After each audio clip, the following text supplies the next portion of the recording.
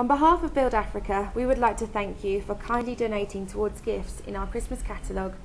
These gifts have greatly helped the lives of people in Kenya and Uganda. We have made this video to show you the difference that your contribution has made to the people who really need it. Thank you again. I would like to, to say thank you for Build Africa because when it comes to, to games, we have got, we used to have one ball and now we have got four. So I would like to say thank you for Build Africa. Beforehand, the children used to scramble for the balls because there were only two balls in the school, but now they have more than four. Now we are very grateful for Build Africa because surely the children have even practiced with the balls. And of late, we had games, uh, games competition, and the Gitaro emerged to be the best in the zone. Also, some of the children also participated in the division, and also some went to the district level.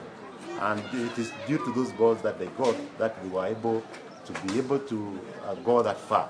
So we are very much thankful. We thank uh, Build Africa, and we'd like it to prosper even the, the more.